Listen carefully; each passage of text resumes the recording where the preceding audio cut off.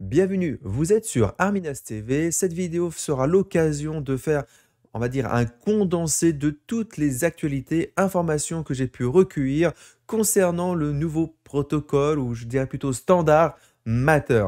Bien entendu, si vous avez apprécié cette vidéo, pensez bien à vous abonner, à liker ou à commenter, et surtout, surtout, pour aider la chaîne, à partager sur tous vos réseaux. Merci beaucoup. Alors, je vais essayer de vous définir euh, Matter pour ceux qui ne le connaissent pas. Alors, il est souvent présenté comme un protocole universel de domotique. Pour moi, je dirais plutôt que c'est un standard parce que, en fait, il utilise déjà des protocoles. hein. Il n'invente pas un nouveau protocole, il utilise déjà des protocoles existants afin de les, on va dire, uni- uniformiser. Pardon. Par exemple, il utilise le Wi-Fi, le Bluetooth, ce sont des protocoles réseau, et deux autres protocoles de domotique qui sont le Zigbee et Thread. Alors, Thread, je ferai un petit focus tout à l'heure, ça va être important. Euh, pour autant, euh, Matter ne va pas effacer les faiblesses de ces protocoles. Le Wi-Fi restera toujours bah voilà, un protocole énergivore, quoi qu'il advienne. Mais ça utilisera aussi quand même les points forts de ces protocoles, comme le Zigbee ou les Threads. On va avoir un réseau maillé avec euh, des euh, objets connectés à faible consommation. Voilà, ça c'est important.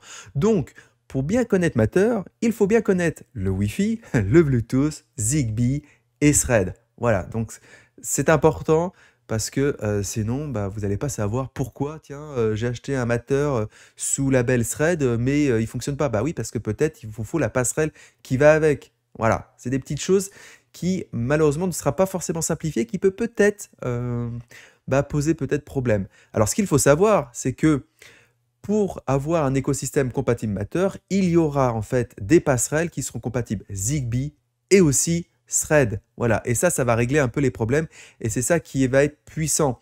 Ce qu'il serait intéressant à l'avenir et que pour l'instant on n'a pas eu trop de communication de la part, par exemple, des euh, fournisseurs de fournisseurs internet pour nos routeurs euh, FAI, c'est que ces routeurs puissent être compatibles aussi Matter. Voilà, ça serait un pas de géant et ça serait, comme diraient euh, voilà, les mecs de, Home Assistant, voilà le, le truc qui serait vraiment un plus au niveau de Matter.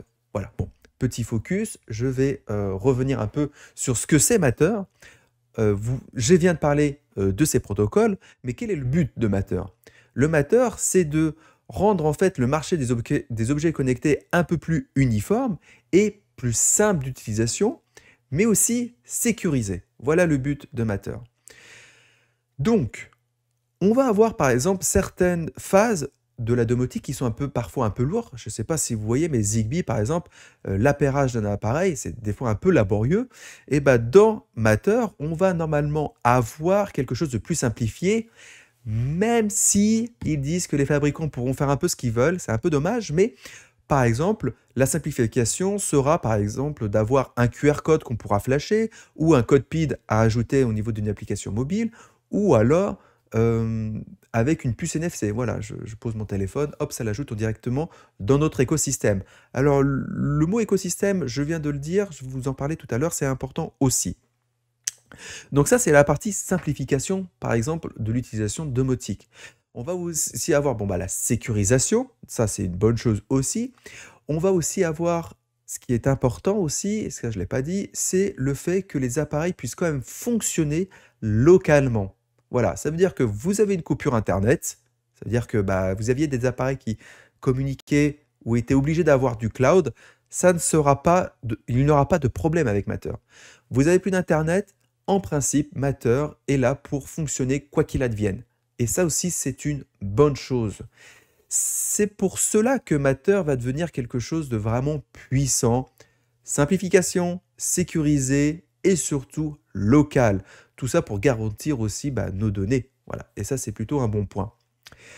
Euh, je parlais d'écosystème parce que, par exemple, si vous avez, si vous avez un écosystème, par exemple Google Home, bon bah voilà, j'ai un système Google Home, j'ai ajouté mes appareils Matter sur Google Home, mais qu'un beau jour, vous voulez mettre Home Assistant. Et c'est ça, parce que vous regardez mes vidéos qui sont généralement centrées sur Home Assistant, et que vous voulez ajouter tous ces appareils sur Home Assistant, et ben il suffira de cliquer sur un petit bouton Share, par exemple, et vous pourrez ajouter facilement en fait vos appareils à un autre écosystème. Ça aussi, c'est la, simplification qu'ils veulent mettre en place avec Matter. Et c'est ça, ça va être vraiment important et intéressant. Matter, sur le long terme, c'est quelque chose, je pense que c'est une valeur sûre, parce qu'il y a énormément d'acteurs du marché, de fabricants, euh, de développeurs, etc., qui misent sur Matter. Quand je dis qu'ils misent, c'est qu'ils mettent de l'argent dans ce, protocole, ce standard.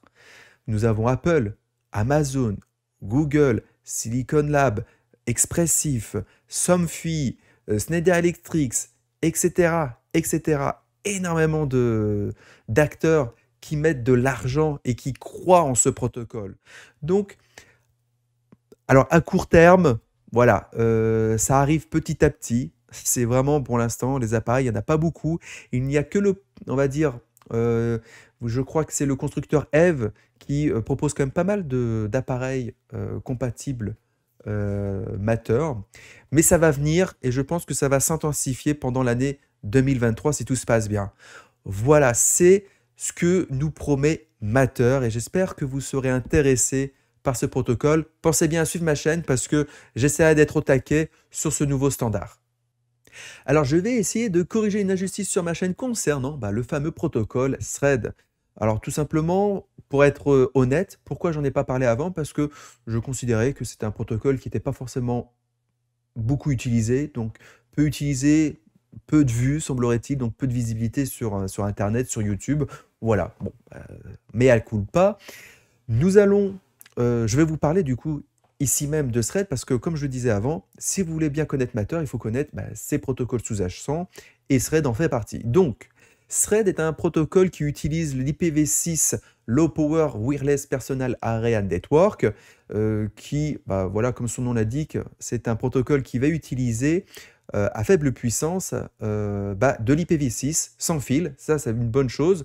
Et pour cela, il va utiliser la norme I3E 802.15.4 qui, pour ceux qui le connaissent, est la même chose et la même norme que Zigbee. Voilà.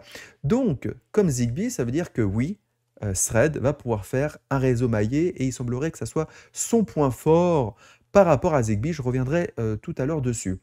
De plus, qu'est-ce que je voulais dire en plus? C'est que Thread donc, utilise euh, des IP, ça veut dire que chacun de nos objets connectés aura une IPv6.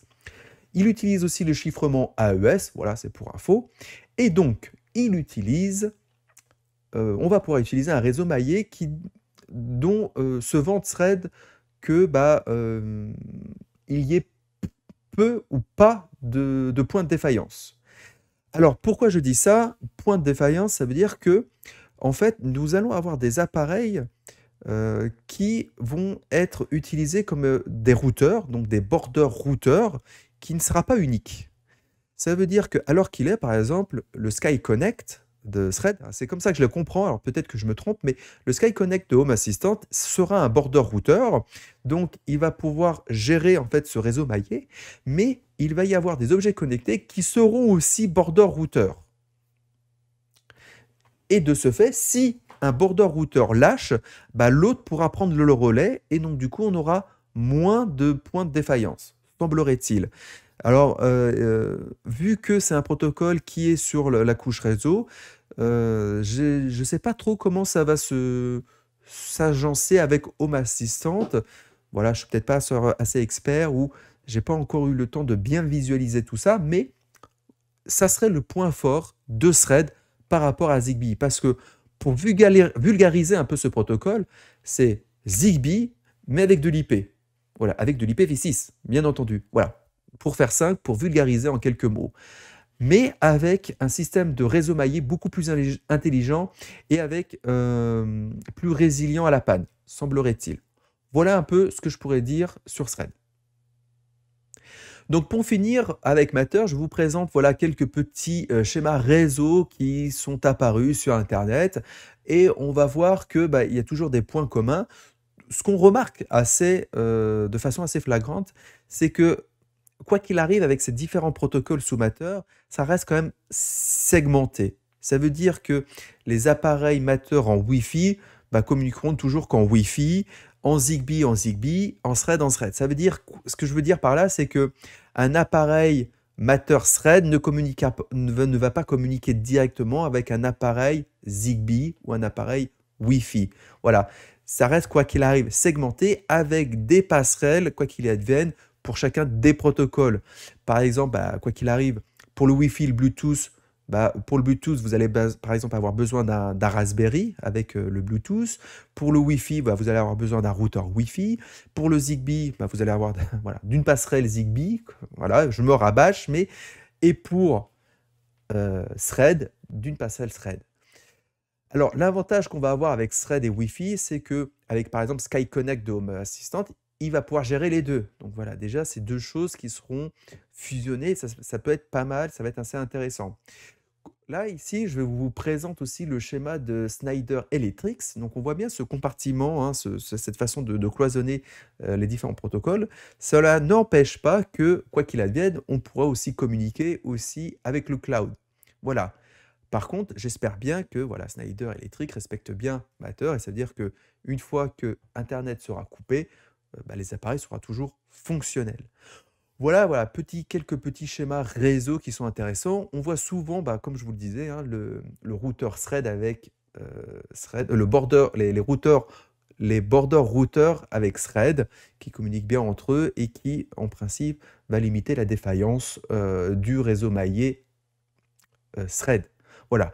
Après Zigbee, j'en parle pas beaucoup parce que j'en parle déjà dans une précédente vidéo. Je vous encourage à la visionner si vous avez encore quelques bah, petit flou concernant euh, bah, ce protocole. Alors voilà, j'ai fini avec Matter. Ce qu'il faut savoir, c'est que pour nous, utilisateurs de Home Assistant, et si Home Assistant font les choses, et en tout cas c'est ce qu'ils ont dit en fait euh, au live, s'ils font bien les choses, il faut savoir que en fait Matter, ça sera totalement transparent pour nous. Voilà. Parce que on va utiliser Home Assistant pour ajouter, pour appareiller et tout. Je pense qu'il y aura des fenêtres euh, dédiées pour cela. Mais après, en termes d'utilisation et au quotidien, on utilisera Home Assistant et ça sera totalement transparent. C'est ça qu'il faut savoir et je pense que c'est le but en tout cas euh, de la société Home Assistant, pour que ça soit le plus simple possible pour nous. Et en tout cas, c'est le, leur souhait. C'est ce qu'ils ont dit au dernier live euh, où je vous ai fait un résumé sur ma précédente vidéo. Enfin, j'en ai pas forcément parlé.